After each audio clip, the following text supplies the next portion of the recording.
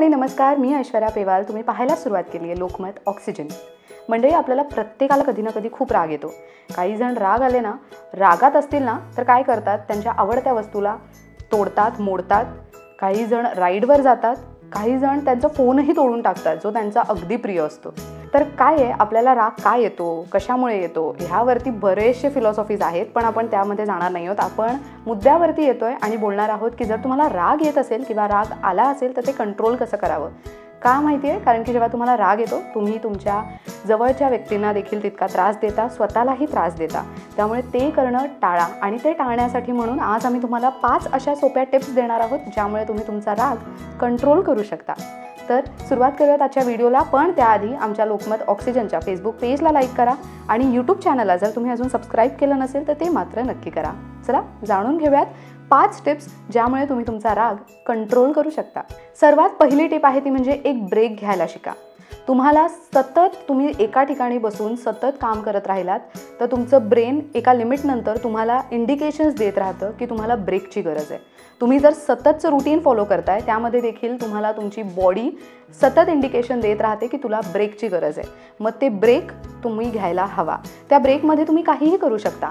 दिवसातून तुम्हाला जर ब्रेक घ्यायचाच असेल तर पाच ते दहा मिनटं कुठेतरी बाहेर राऊंड मारून या टेरेसवर जा बाल्कनीमध्ये जा किंवा तर तुमच्या आवडत्या व्यक्तींसोबत वेळ घालवा.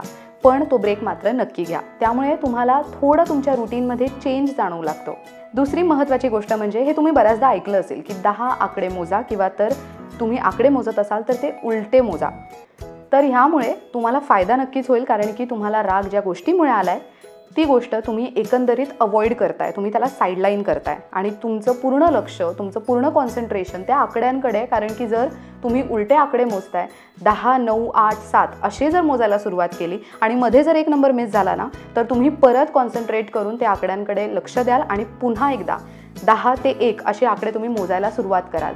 त्यामुळे तुमचं कॉन्सन्ट्रेशन वाढतं शिवाय तुमचं लक्ष दुसरीकडे लागून जातं. त्यामुळे हा खूप सोपा उपाय आहे. जेव्हा तुम्हाला राग येत असेल किंवा तुम्हाला राग आला असेल तर त्यावेळेला तुम्ही हे नक्कीच करू शकता. तिसरी गोष्ट म्हणजे राग आला असेल तर शांत राहण्याचा प्रयत्न करा. बऱ्याचदा राग आला असेल तर आपण चिडचिड करतो शिवीघाळ करतो वस्तू तोडमोड करतो वस्तूंची तोडमोड करतो तर ते करू नका.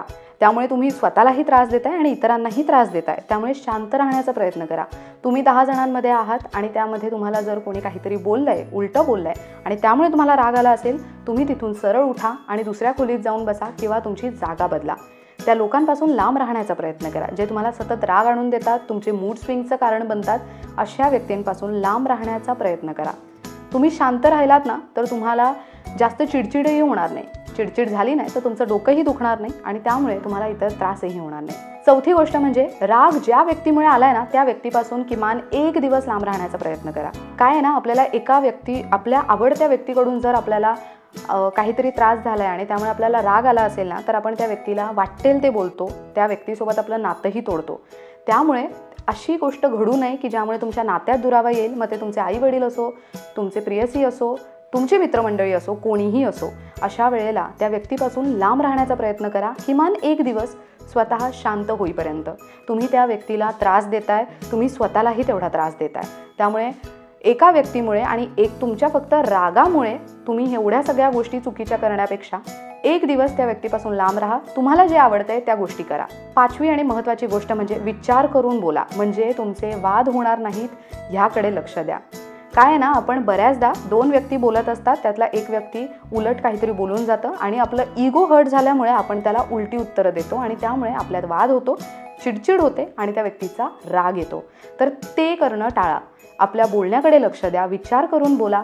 तुमची जवळची व्यक्ती असो किंवा तर कोणी बाहेरचा व्यक्ती ज्यांना तुम्ही ओळखत नाही जे लोक तुमच्यासाठी स्ट्रेंजर्स आहेत त्यांच्याशी बोलताना विचार करून बोला कारण की आपल्याला त्या व्यक्तीचा स्वभाव माहीत नसतो. तुम्हाला राग आला असेल तर तुम्हाला शांत करायला दहा माणसं जवळ येतीलच असंही नाही आहे त्यामुळे स्वतःला त्रास करून घेण्यापेक्षा शांत राहिलेलं आणि विचार करून बोललेलं कधीही चांगलं. ही माहिती तुम्हाला कशी वाटली ते आम्हाला कमेंट बॉक्समध्ये नक्की सांगा.